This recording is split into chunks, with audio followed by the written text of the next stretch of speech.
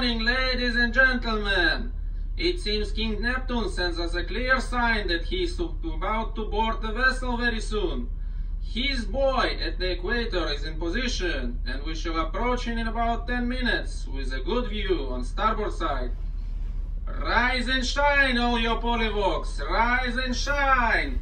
The buoy is 10 minutes away on starboard side. Good morning everybody, welcome back to my channel. So today is Neptune Day, and so the noise you just heard was our wake up call at 7 a.m. And now we're crossing the equator.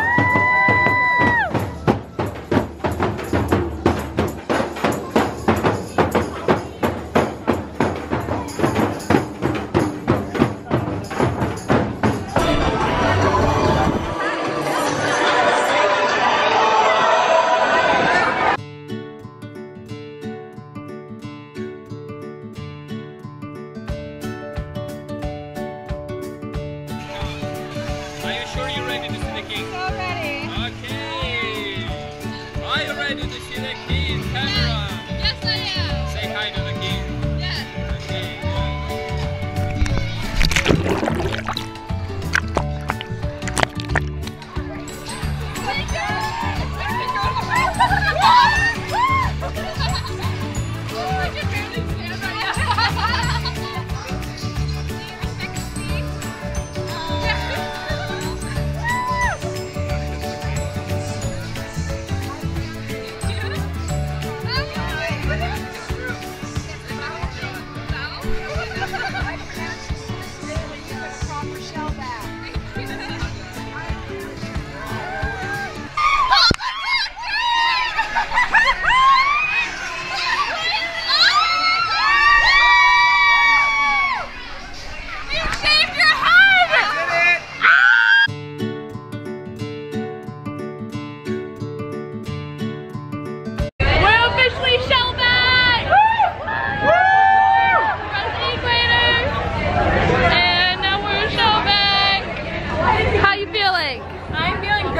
very thirsty and I don't want to get sunburned anymore. So Neptune Day ended and it was only like two hours worth of stuff and now the rest of the day is just a study day so obviously I'm not studying.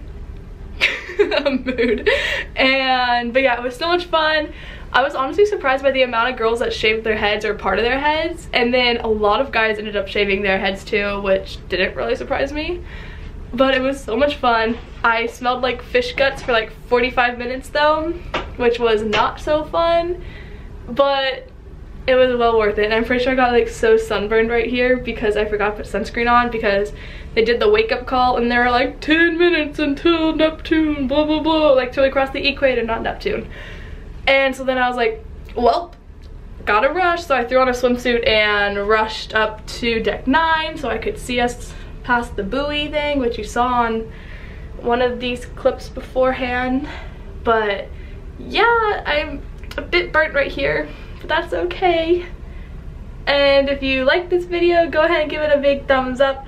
And if you haven't already, go ahead and hit that subscribe button down below and I'll see you in the next video. Bye!